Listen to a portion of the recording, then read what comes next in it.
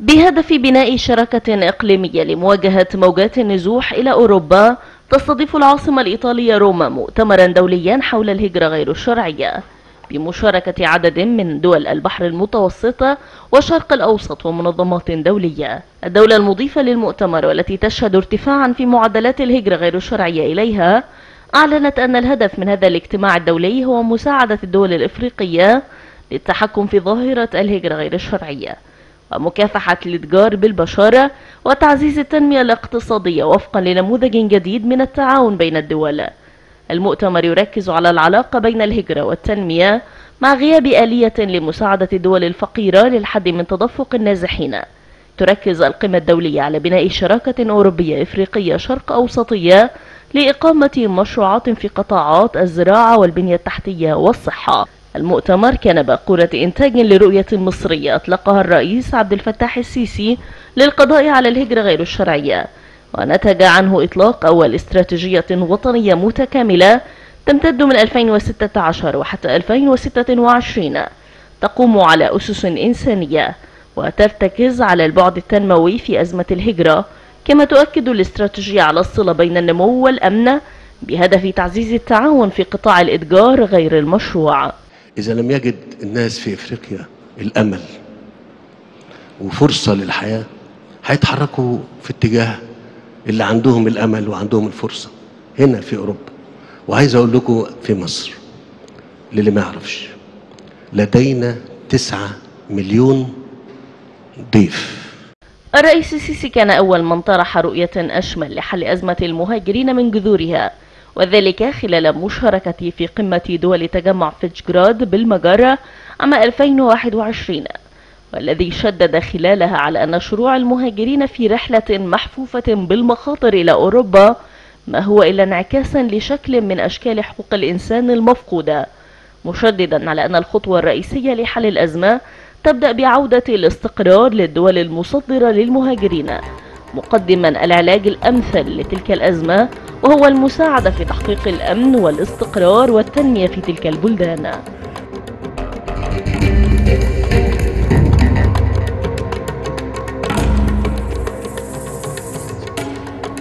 أهلا بحضراتكم مشاهدينا الكرام الحوار الثاني في من القاهرة. جورجيا ميلوني رئيسة الوزراء الإيطالية اليمينية المتطرفة التي تمتاز بالجرأة ووجهة نظر مختلفة فيما يتعلق برؤية أوروبا تحديدا وإيطاليا بشكل أكثر تحديد فيما يتعلق بقضية الهجرة غير الشرعية. منذ أيام كانت ميلوني في تونس وعقدت مباحثات مهمة مع الرئيس التونسي قيس سعيد وتحدثت عن آلية محددة.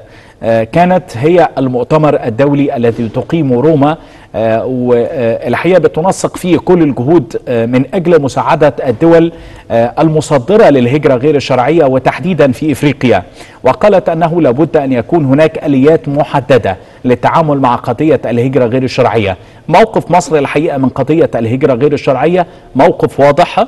مصر بتبذل جهود كبيرة جدا في هذا الأمر. منذ سبتمبر من عام 2016 لم تنطلق أي مراكب هجرة غير شرعية من السواحل المصرية على الإطلاق.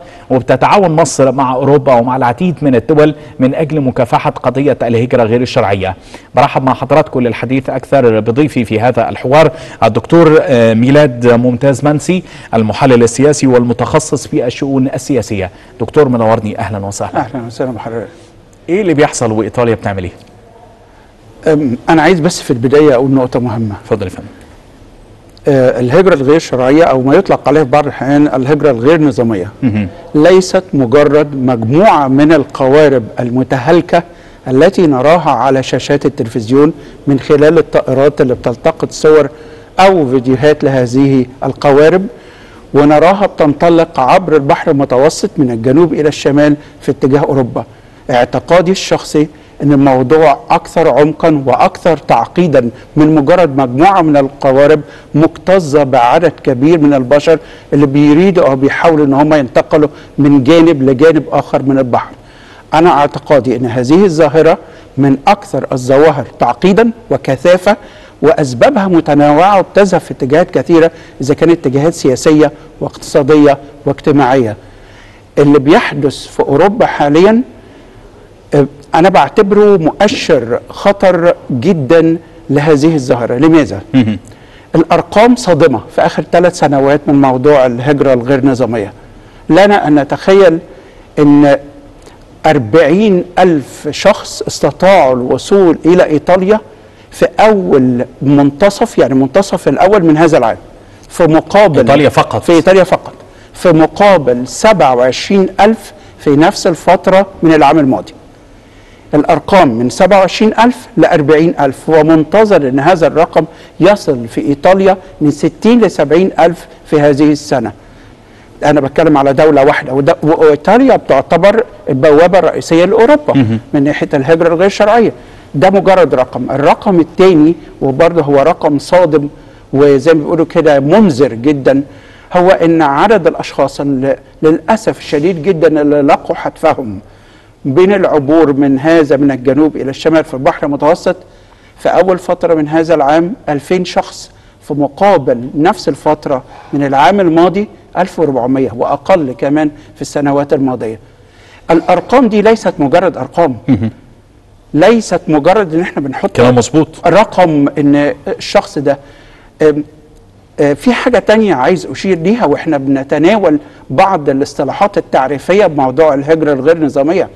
هؤلاء الأشخاص ليس من البساطة أن نوصفهم أن هم شخص فقد عقله فأراد أن يسافر لدولة أخرى كلام غير منطقي يعني هو غير منطقي لأن في بعض الأشخاص بتبسط الموضوع. أنا هستعمل التعبير اللي أشار إليه سيادة الرئيس في الجلسة الختامية لقمة باريس من شهر من النهاردة لما قال إن الناس دي مجني عليها. هم ليسوا جناه هم ما ارتكبوش خطأ. وأشار في عبارة واضحة إذا عوزنا نلخص الموضوع ده سيادة الرئيس قال الناس دول هؤلاء البشر بالذات في أفريقيا زي ما حضرتك أشرت إذا يجدوا فرصة وأمل في هذه القارة سيذهبوا للبحث عنها في مكان آخر حتى لو كانت النتيجة هي الوفاة أو إنه يموت لأن. هو بالظبط هو بيقول لك أنا عايش ميت فهو بي بي على أمل يعني يعيش يموت هو بيدور على أمل يعني فكرة صناعة الأمل آه، في الوجود من خلال أي تحولات هو ده الهدف اللي بيسعى ليه يعني. هو ده ما سيادة الرئيس زي ما بقول لحضرتك قالها في كلمتين فرصة وأمل وحتى أشار في نهاية العبارة إن هو مش بيقول كده إنها openly مفتوحة في أي مكان ده قال لهم هنا في أوروبا. إذا الناس ما لقتش الموضوع ده الفرصة والأمل في بلادها في أفريقيا هتبحث عنه في مكان آخر.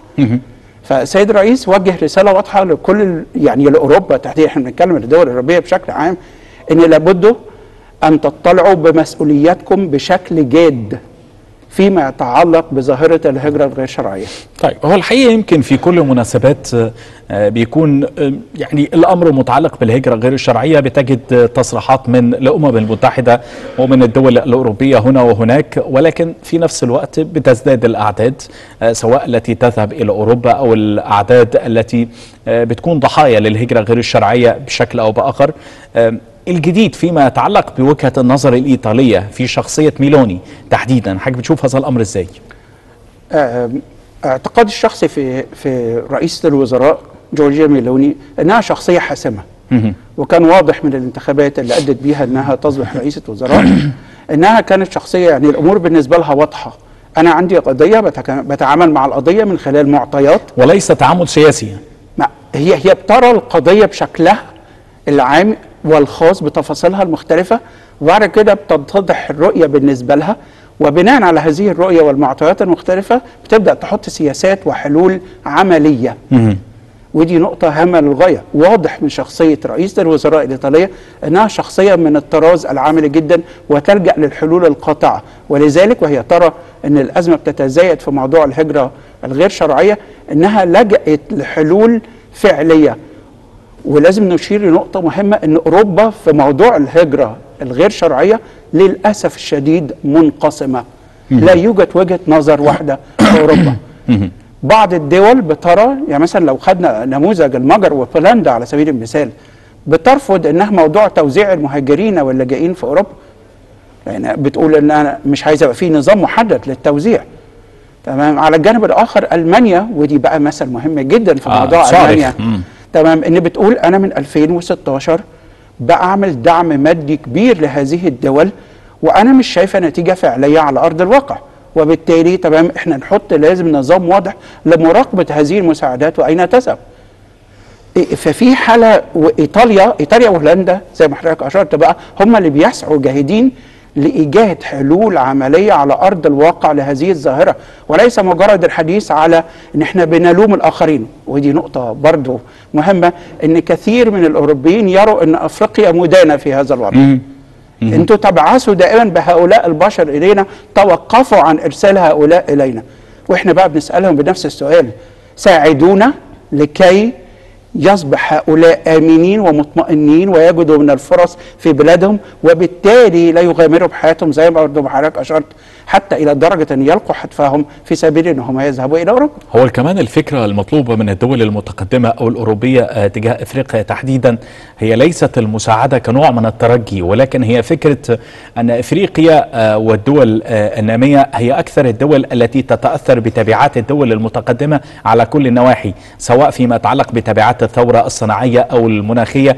وكل هذه الأمور أدت إلى أسباب اقتصادية في العديد من الدول الإفريقية سواء تصحر أو فقر أو استعمار أو ما شابه. كل هذه الأمور أدت إلى تردي الأوضاع الاقتصادية فأوروبا مطالبة بمعالجة المشاكل اللي هي أساسا كانت سبب فيها بشكل أو بآخر يعني. أنا متفق مع حضرتك 100% هناك مسؤولية ليست مجرد مسؤولية أخلاقية. صحيح. كلمة أخلاقية دي كلمة مرنة ومبسطة جدا. بالظبط والحقيقة كله بيتعرض. عنها يعني آه. تمام؟ وبتتقال عادة في المحافل الدولية وزي ما حضرتك عارف بتتقال مجرد كعبارات. طيب أنا هدي أمثلة من الثلاث سنوات الماضية. مش هرجع طبعا الأمثلة اللي حضرتك قلتها سليمة 100% خاصة في موضوع الثورة الصناعية والاستعمار. لكن أنا أشير في آخر ثلاث سنوات وأمثلة واضحة جدا. لما بنتكلم على كوفيد 19 وما حدث أكثر قارة في وجهة نظري تضررت من هذا الوباء أفريقيا. برغم إن كان يقال ساعتها وأعتقد حضرتك تتذكر أقل عدد أصيب عندكم هم يعني لا يتحدثوا عن عمليات الإغلاق اللي كانت بتحصل أوروبا ومعدلات التضخم اللي كانت بأرقام غير عادية هل لم ينظروا إلى ما حدث في قارة أفريقيا نتيجة هذا الوباء أين هي الأبحاث العلمية؟ هناك أبحاث علمية بأرقام غير عادية اتعملت على أوروبا وتداعيات تمام. كوفيد تمام. هذا الوباء في أوروبا. ونحن نقف الآن ونسأل كم بحث تم كتابته أو دراسة تم نشرها فيما يتعلق بأفريقيا وما حدث في أفريقيا؟ مهم. لا شيء.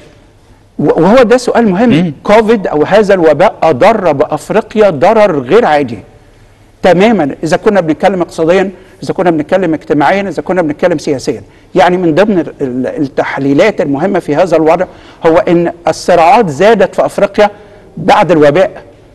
الصراعات إذا كانت الإقليمية أو إذا كانت الصراعات الداخلية بعض الدول الأفريقية ازدادت بشكل واضح عشان موضوع الوباء. تمام، بسبب الضغوط. مثلا البطالة وما آه، إلى ذلك الاقتصادية اللي الضغوط. الاقتصاديه والاجتماعية وما إلى ذلك. أنا بدي مثل على كوفيد سلاسل الإمداد والمشاكل اللي حصلت بعد كوفيد برضو أنا بعتبر الأكثر تضررا إفريقيا. لا بنتكلم على التغير المناخي. ودي قضية الساحة اللي موجودة بقى لها سنوات دلوقتي. أك... أنا اعتقادي الشخصي مرة أخرى إن إفريقيا هي أكثر من يعاني في هذا صحيح. الوضع. صحيح. لما بنتكلم على ظاهرة التصحر أف- أفريقيا واضح فيها الموضوع جدا. وأنا بضع علامات استفهام أعتقد أنها شرعية للغاية. إذا كنتم بتمتلكوا في أوروبا وفي أمريكا الشمالية هذه التكنولوجيا الضخمة التي تمكنكم من الرصد من خلال الأقمار الصناعية ومتابعة عمليات التصحر في دول العالم أو في المناطق المختلفة. هل لم تروا ما يحدث في أفريقيا؟ أعتقد سؤال منطقي جدا. أو هم عارفين كويس جدا ما يحدث في إفريقيا بسبب موضوع التغيرات المناخية. مثال آخر على التغيرات المناخية هو مش من إفريقيا بس مثال واضح جدا. في العراق.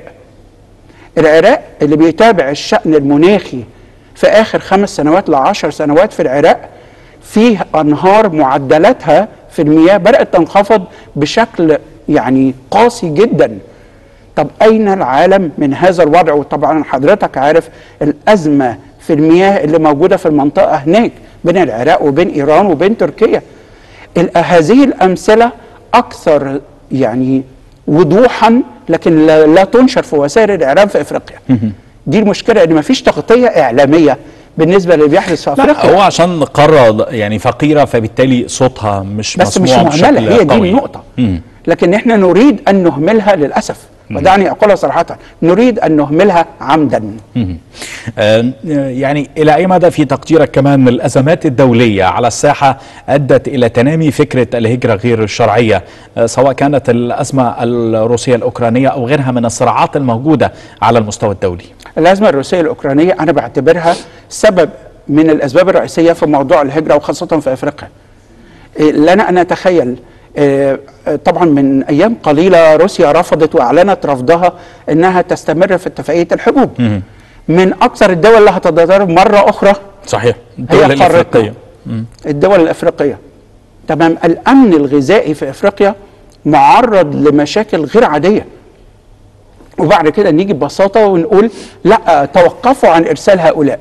طب ما هؤلاء اللي بتتحدثوا عنهم الأمن الحد الأدنى من الأمن الغذائي لا يوجد. الحد الأدنى. أنا هشي- اشير لنقطة تانية مهمة. السيد الرئيس في ال- آه، كان مؤتمر بيعقد في المجر في أعتقد 2021 وتحدث عن موضوع الهجرة الغير شرعية. تمام؟ وأشار لنقطة في غاية الأهمية. قال إن ما معناه إيه؟ إن هؤلاء الأشخاص اللي بيذهبوا إلى هناك أنتوا كل اللي بتروه هو يعني السيد الرئيس كان عايز يقول الموضوع الهجرة الغير شرعية واحد من الحاجات المهمة لحقوق الإنسان اللي بيتغنى بها الغرب دائما. وقال أنتوا دايما بتعملوا يعني minimization بتركزوا فقط أو zoom in بنركز فقط على إيه؟ آه، حرية إبداء الرأي والممارسة السياسية. تمام قال لهم إن في حاجات تانية مهمة جدا بالنسبة لحقوق الإنسان ليس حرية فقط ال- إنك تعيش يعني إنك تعرف تعيش أصلا يعني دي موجودة على فكرة آه. في ال Human Rights Declaration الإعلان العالمي لحقوق الإنسان إنسان. مم. الحق في الحياة فهل هو مجرد بند من البنود البراقة الجذابة اللي موجودة في ميثاق حقوق الإنسان الحق في الحياة أين هو على أرض الواقع والتطبيق بالنسبة لهذه القارة نريد أن نراه سؤال أخير في دقيقة أرجوك يعني إلى أي مدى بترى أن أوروبا جادة هذه المرة في التعامل مع هذه القضية من خلال تقديم برامج تنفيذية واضحة للتنمية في إفريقيا؟ سؤال صعب جدا. وإجابته في دقيقة واحدة أعتقد تحدي واضح جدا. لأن إحنا ما زلنا بنبحث عنه في العشر سنوات الماضية. نتمنى مع إن أنا عندي شكوك شخصية جدا في هذا المؤتمر بتاع النهارده إن تحصل حاجة جادة. لكن نتمنى من أوروبا إنها تنظر بنظرة جدية للتحديات اللي بتواجه القارة الإفريقية وينتج عنها سياسات قابلة للتطبيق العملي. أشكرك نورتني جدا في هذا الحوار. بشكرك الدكتور ميلاد ممتاز منسي المحلل السياسي والمتخصص في الشؤون السياسية. نورتني في هذا الحوار. بشكرك يا دكتور. أنتم مشاهدينا الكرام لكم من كل تقدير حتى نلتقي وفقرات أخرى في من القاهرة. شكرا لكم وإلى اللقاء.